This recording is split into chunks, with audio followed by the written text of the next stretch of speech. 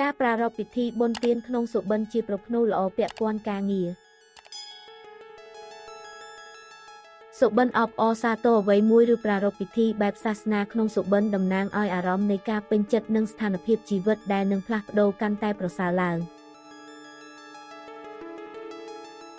នេះជាប្រផ្នូលនៃសុភមង្គលគោលដៅធំណាមួយចិត្តបានសម្រេច វាក៏ជាប្រផ្នូលនៃភាពរីករាយនិងបទពិសោធន៍ជោគជ័យសម្រាប់សមិទ្ធផលធំណាមួយដែលមិនធ្លាប់មានក្នុងជីវិតដោយអំពីបុណ្យពីអតីតបើអ្នកជាម្ចាស់ពិធីបុណ្យក្នុងសុបិនវាជាសញ្ញាដ៏រីករាយនិងរបត់វិជ្ជមានក្នុងជីវិតហើយបើជាពិធីដ៏មានអារម្មណ៍ល្អផងបង្ហាញថាក្នុងជីវិតពិតយើងពិតជាបានឆ្លងកាត់អ្វីគ្រប់យ៉ាងដែលដល់ពេលរឿងល្អចាប់ផ្ដើមកើតឡើងវិញម្ដង